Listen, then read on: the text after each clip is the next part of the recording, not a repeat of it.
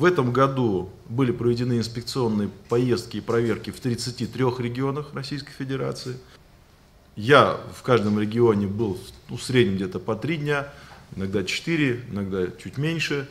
А группа детского спецназа, так называемая, то есть советники уполномоченного, как правило, это 3-4 человека, которые выезжали с проверками от 7 до 10 дней. Были регионы, даже и по 2 недели проверяли.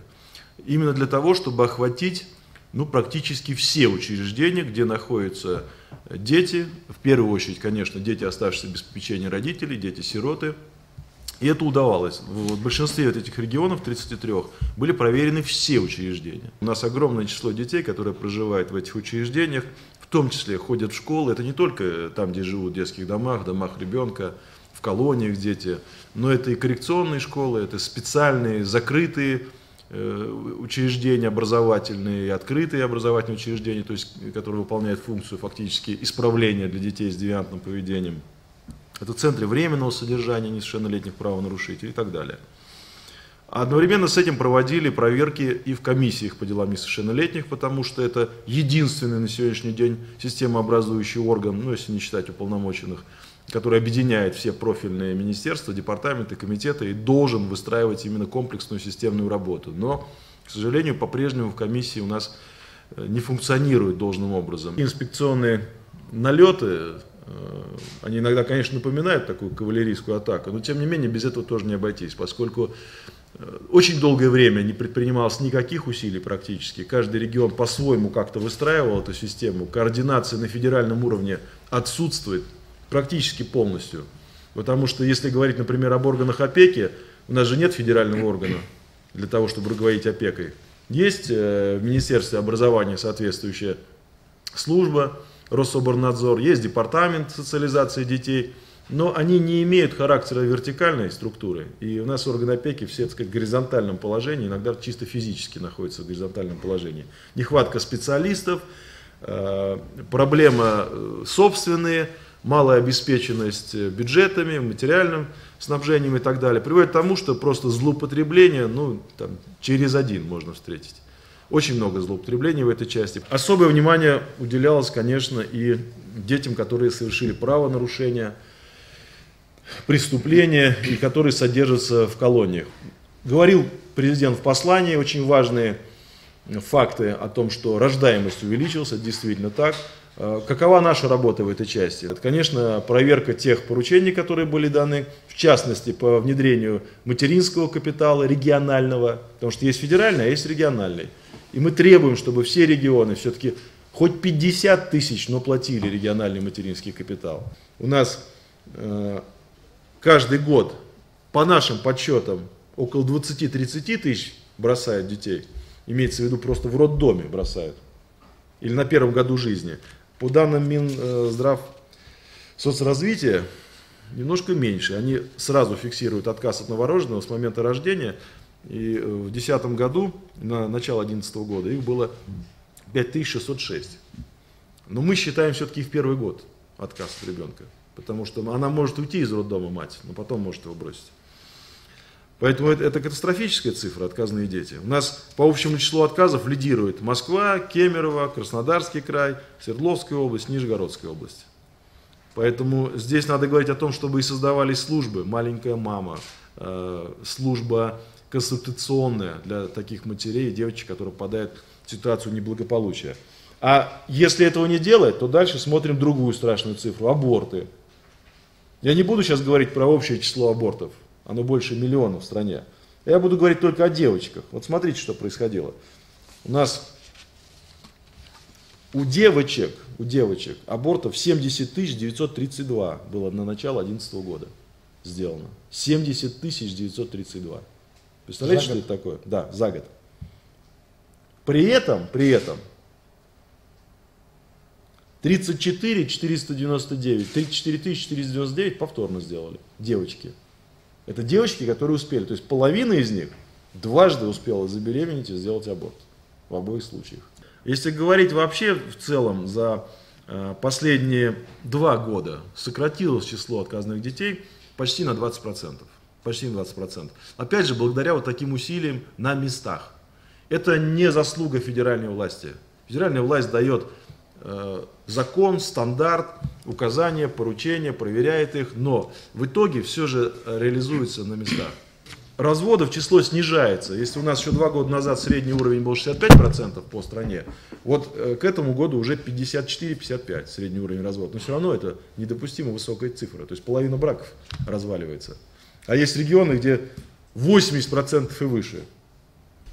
Что касается выявления детей-сирот, значит, на начало 2011 года у нас 682 317 детей, оставшихся без попечения родителей, выявлено. 682 тысячи. Это вот общее число таких у нас детей э, без попечения родителей. Количество детских домов у нас сокращается. Значит, примерно на 11,8% сократилось число детских домов за три года. Значит, ну а начало, наконец 2010 года, начало 11 1095 их осталось, а было почти 1300. Если говорить о ситуации с э, иностранным усыновлением, отдельно хотел ваше внимание привлечь. Вот смотрите, что происходит. Значит, возникла такая полемика в общественном сознании о том, что, дескать, американцы, иностранцы это хорошо, потому что они берут наших детей, как правило, инвалидов, это дети, которые не имеют шанса в России и так далее. Давайте проанализируем то, что есть. Вот есть миф такой о том, что иностранцы берут в основном больных детей. Значит, смотрите, в 2010 году иностранными гражданами было установлено 3355 детей. Из них только 4% дети-инвалиды, 148 человек. Америка взяла 44 ребенка из 1016 детей-инвалидов. Это меньше, чем наши граждане берут на усыновление. У нас порядка 7% инвалиды дети составляют. То есть наши все-таки больше берут больных детей. Первый миф. Дальше. Вот, если говорить, иностранцы берут детей, которых плохо усыновляют в России и так далее. Я уже сказал, иностранные усыновления это в основном дети до трех лет. Это малолетние дети. Из них э, половина детей это дети вообще первого года жизни, маленьких берут. Что дальше происходит? Говорят о том, что в Америке, в иностранных государствах, куда берут наших детей, спасают детей, операции, заботятся и так далее, а в России их ждет тюрьма и с ума. Смотрите, за 2010 год высокотехнологичную медицинскую помощь, это порог сердца, протезирование, челюстно-лицевые дефекты и прочее, за счет средств федерального бюджета получили 289 тысяч пациентов, в том числе более 50 тысяч детей. В начало 2011 года Число детей, подвергшихся насилию в Соединенных Штатах Америки, психологическому и физическому, в том числе преступлений, 3, тысяч, 3 э, миллиона 600 тысяч детей. 3 миллиона 600 тысяч детей. Это к вопросу о больших цифрах, когда нам говорят, много усыновляют, поэтому и гибнут. Дальше. Из них сексуальное насилие 10% составляет. Вот теперь посчитайте, сколько детей подверглись сексуальному насилию. То есть 360 тысяч детей в Америке. У нас за полгода 5 тысяч, за прошлый год 9,5 тысяч. Разница, по-моему, есть. К вопросу о том, куда отдавать. 1560 детей в Америке умерло от насилия, из них 81% младше 4 лет. Цифра сравнимая с нашей. У нас 1600 погибло в прошлом году, у них 1560. Сравнимые. Значит, 84,2% это насилие биологических родителей в Америке. Это данные Департамента здравоохранения США. Приемных родителей из них 3576 приемных родителей в Америке. Вот это неутешительные цифры. Теперь, значит, вопрос о том, а, насколько это выгодно и кому это выгодно, и почему это происходит. Значит, вообще индустрия по американским оценкам Госдепа 270 миллионов 280 тысяч долларов годовой оборот. Индустрии усыновления. 270 миллионов. Вот так. А в среднем усыновление ребенка американцу из другой страны где-то 25 тысяч долларов составляет. Официально. В России чуть больше цифры. В связи с нашими мерами, там, мораторием и так далее, возросли ставки в два раза. Все равно едут, берут. Значит, в 2011 году американцы установили 9320 детей. Из них вот тысяча с небольшим, 1016, да, в России установили. И хотят брать, и будут брать, и продолжают приезжать. Мы побывали во всех детских учреждениях, Кавказа Северного. Скажу, там ситуация следующая. Там э, несколько проблем. Первое. Катастрофическая нехватка специалистов. Катастрофическая. Э, при норме специалиста по вопросам детства один на где-то 5 тысяч, там один на 35 тысяч. Мы там провели семинар, продолжаем проводить обучение, собираем всех э, профильных работников, учим, их надо учить просто, им нужны методические рекомендации. Это огромная недоработка, кстати, Министерства образования и науки опять. Потому что методических рекомендаций нет. Они, мы посмотрели по учебникам и разработкам, которым они с детьми занимаются, это 94-95 год.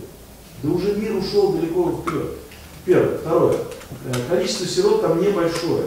В частности, в Чеченской республике вот 176, ребенка, 176 сирот мы выявили, мы выявили, но по призыву э, руководителя республики Рамзана Кадырова всех детей разобрали.